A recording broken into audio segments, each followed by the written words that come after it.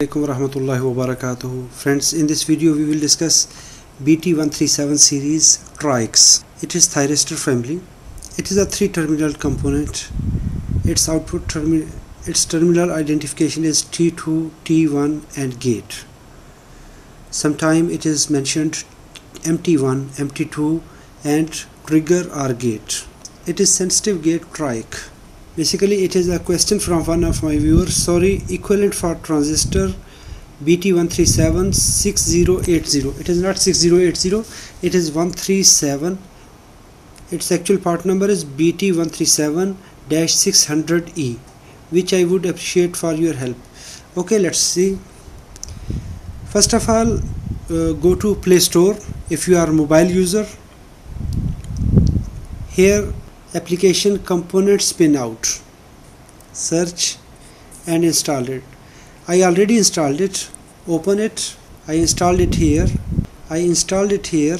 Let's open it. Type here BT137 okay. Search. It is the second number BT137 600E this is our required part number it is triac. T1 T2 G. Terminal 1 terminal 2 and gate. Or MT1 MT2 and gate. We can search the datasheet search Google for datasheet we can search it. Datasheet it is here. Bt137600 pdf download the first one. Click here. Datasheet 6 pages. PDF download. Again hit PDF download and the data sheet will download download it. I am making this video for mobile users. In the first quick reference data BT137 600 that is 600 volt. If it is 500 that is 500 if it is 800 that is 800 RMS on state current that is 8 ampere. So it is 8 ampere 600 volt triac and it is logic level triggered we have to know something. The first VDRM that is repeated peak of state voltage when it is not con conducting how much volt it can sustain. So in our case it is dash 600 so 600 volts. If it is dash 800 that will take a stress up to 800 volts. But in our case it is 600 volts. Then ITRMS RMS on state current that is 8 ampere.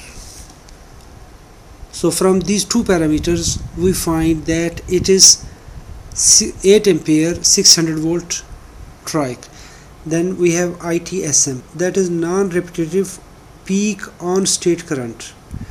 So it is 65 ampere. It is on state current when it is conducting so it can pass the surges for 20 millisecond at 65 ampere. Now we can go back to the same application for equivalent BT137 search for replacements. Hit here. So it is it is BCR 12km BCR 3FM-14B BCR 3pm 12LA BCR 8pm BT136 BT137 800 BT138 600 BT138 800 BTA BTA 12 600 BTA 15 BTA 412 so all these part numbers are equivalent. For example we need we want to check this BTA 12 600 so it is 600 volt 12 ampere. We can check the data sheet so it is the same. T1 pin number 3 that is trigger. Pin 1 is terminal 1 terminal 2 and the body. It is 12 ampere 600 volt. So in this way we can find the equivalent. I hope so this video is informative. If it is informative give a thumb up. If you have any question let me know in the comment box. Thanks for watching. Assalamu alaikum warahmatullahi wabarakatuh